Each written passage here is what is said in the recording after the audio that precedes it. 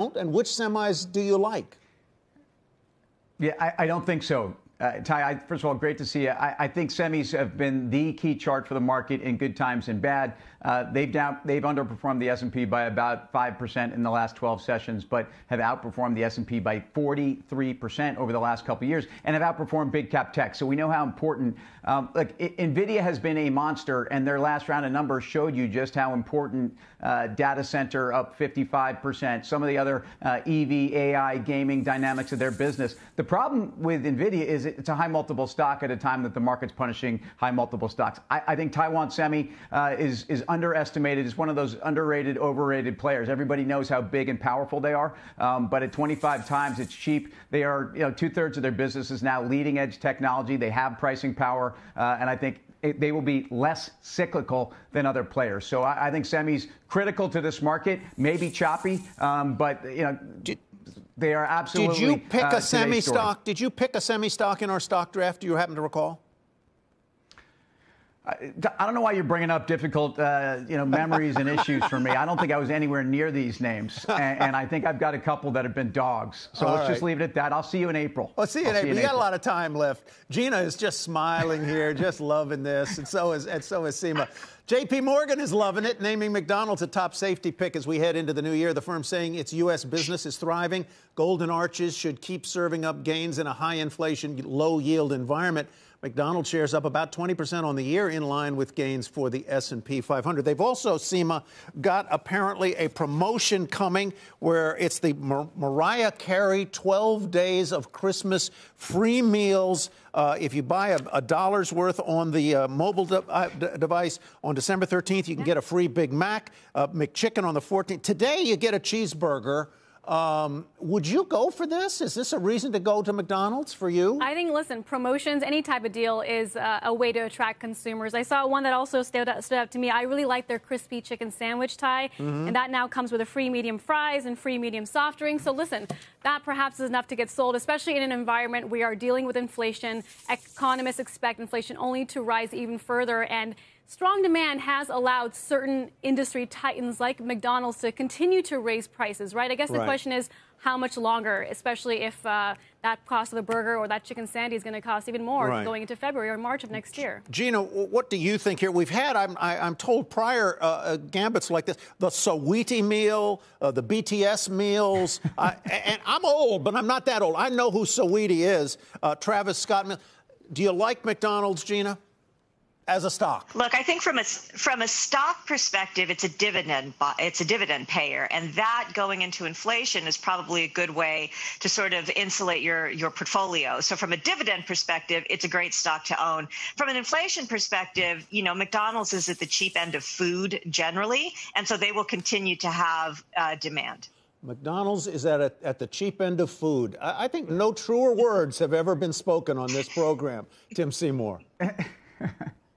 Well, uh, look, I, I, think the unit growth, so I'll, I'll, leave aside the quality of the menu. I will say uh, McDonald's is hip again, not only because of their music, uh, you know, branding, celebrity uh, sponsorships, but because of what they've done to the menu, the kiosks, the, the loyalty program. But I think the key to the stock really is, is the unit growth. So they're actually growing stores after uh, cutting back in store closures seven years or so in a row. They're now actually geographically repositioning mm-hmm. some new stores, and in fact, will be growing uh, 5 to 10 percent over the next couple of years. Yeah. I, I hate to be a curmudgeon, but I, I, don't love the Mariah Carey Christmas song. It gets in my head. Yeah, I can't, I, it, it, just doesn't go away. Oh, come on. Uh, I, I, just, I don't know. All right, next up, uh, Carnival Cruise Lines set to report results before the bell on Monday.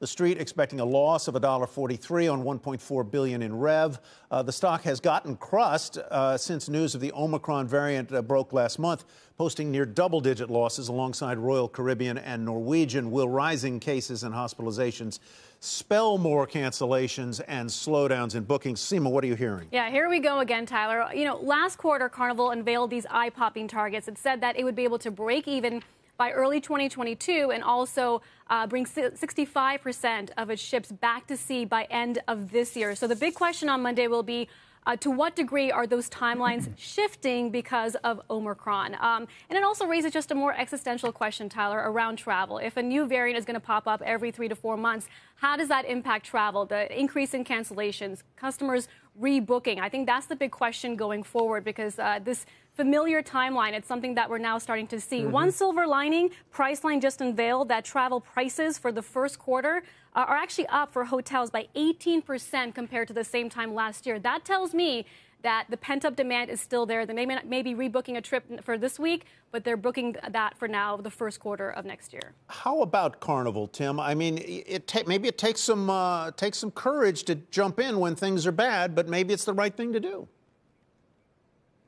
The wrong thing to do is make fun of Mariah Carey, by the way. So uh, the right thing to do with Carnival is to be tactical going into these numbers. I, I think, first of all, you, we forget with, with COVID stocks that were certainly in, in the, the, the, the tornado uh, you make the most money when things go from terrible to just bad, and that was that was Carnival. That's still up 130 percent, yet you know down near the bottom of its range. The key is I don't think they're going to give you the kind of guidance that the market wants in terms of mm-hmm. uh, their financial outlook. I do think break even on free cash flow by second or third quarter, but I think longer term, um, by 23, they will be plus 15 percent to their EBITDA of pre-pandemic. That's the key. It's not the same balance sheet, but I think on a medium term, I think this is a great call. And I think tactically into Monday, I think investors are going to make some money on the trade. Too. Gina, quick uh, final thought either on Carnival or Mariah Carey.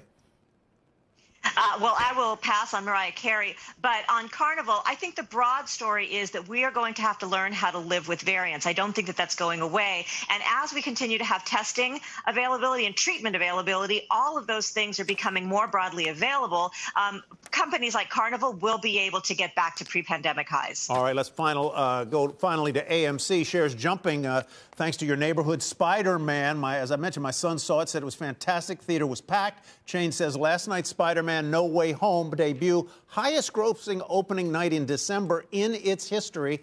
More than a million Americans watched the movie at an AMC, uh, the highest number in two years. Gina, is it more than a meme? Uh, well, is it more than a movie? There's certainly a reopening frenzy to go back to the movie theater, but the business model generally is still challenged. Um, and and you know, you look at sort of what's happening with with you know streaming, what Disney was able to do with their launches, with their new uh, uh, movies during the pandemic, really paved the way for a changing industry. So I think you have to watch the industry trends. But look, I'm doing my part. I'm going to see House of Gucci tonight. Wow, good for you. Tim, how about you? I mean, you've got on the one hand, you've got this this apparent blockbuster in Spider-Man. You've got House of Gucci for Gina, um, and and but you've also got Omicron. Look, I, I, is this a movie theater company again? So it actually that's what they do. I get it. So so pre-pandemic, 720 million was their you know was was their top line. Like, are, are, you telling me that suddenly their their story is better because they have a blockbuster release? We know what's going on here. This is this is a meme stock. This has been kamikaze investing. It, it was you know down 50% into this print, so you have a huge relief rally. You still have 16% short interest.